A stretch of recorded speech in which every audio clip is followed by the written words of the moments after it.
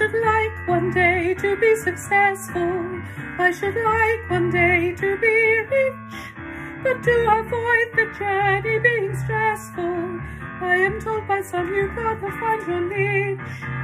But which road should I choose at this juncture? To make sure that my talents I unleash. I should hate at this point my dreams to puncture, so it is clear to me that one must find one's niche. I could be a doctor or a surgeon or perhaps a radiologist. The money's good, but the hours are bad. A dentist might be fun, or perhaps an epidemiologist, which might at least annoy my mum and dad. Or perhaps the world of science is the place where I should concentrate like Faraday or Edison or Freud. But then some scientific aptitude I guess I'll have to demonstrate, of which I have to say I am devoid. I should like one day to be successful.